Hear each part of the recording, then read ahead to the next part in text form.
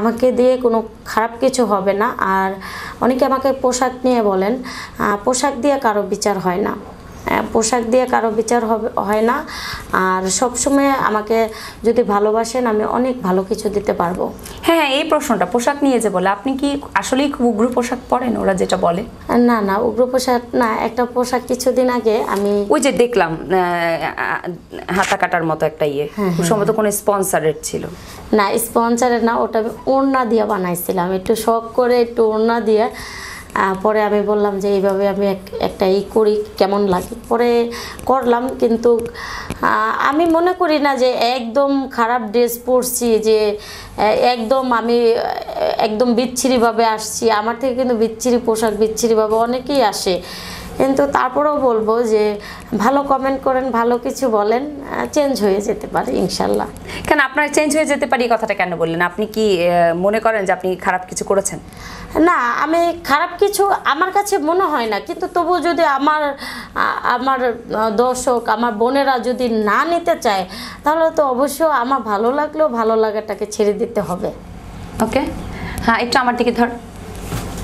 দর্শক, আমরা এতক্ষণ আজকে অনেকটা সময় ধরে শারমিন শিলা আপার বাসায় অপেক্ষা করেছি। ওনার জন্য ওনার কিছু ভালো কাজেরও আমরা শরীর হতে পেরেছি।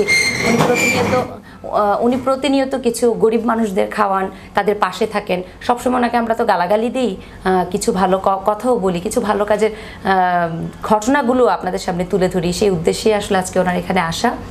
একই সাথে আপনাদের প্রমাণ করা যে আসলে কি আমি টাকা নিয়ে ওনার জন্য একটা নিউজ করেছিলাম কিনা। আসলে আমিও যখন মন খারাপ করি, তখন ওনার পেজে গিয়ে ঢুকে ওনার এই ধরনের কাণ্ডকীর্তি বলেন বা ভিডিও বলেন, দেখলে আমার মুহূর্তেই মনটা ভালো হয়ে যায়।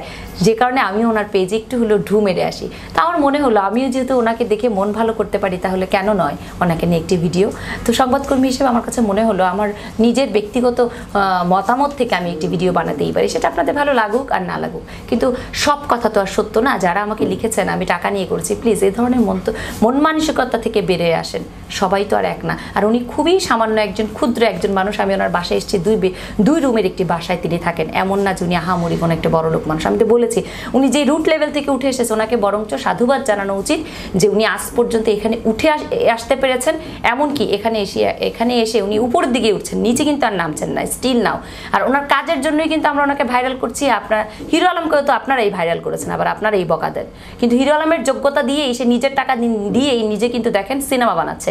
তাহলে ওর সিনেমাও দেখি, ফ্লপও হয়, ওর মানে বুকের পাটা আছে বলে সে সিনেমা আবার বানাতেও যায়, ফ্লপ হওয়া সিনেমা। তাহলে এই মানুষটাকে নিয়ে কেন আমরা একটু অ্যাপ্রিসিয়েট না করি গালাগাল দেওয়ার কি দরকার? আর করলেই বাকি আমি ওনাকে আজকে বললাম, মানুষের গালাগালি কি আসা? যায় এই যে বড় বড় স্টাররা আছেন, তাদেরকেও তো মানুষ গালাগাল দেয়। তাতে কি আপনি আর আমি তো খুব ক্ষুদ্র মানুষ, তাই নয় কি? যাই হোক আপনাদের যদি ওনাকে ভালো লাগে, আমার এই ইন্টারভিউ নেওয়াটা যদি ভালো লাগে, তাহলে শেয়ার করবেন কমেন্টস করবেন। ভালো থাকবেন আপনারা সবাই, আমি আজকে আবার বাসে ইফতারও করব।